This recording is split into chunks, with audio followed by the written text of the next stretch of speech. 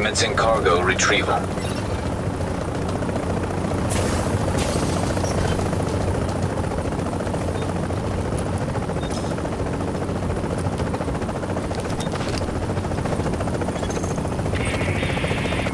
Ready to bring it on board.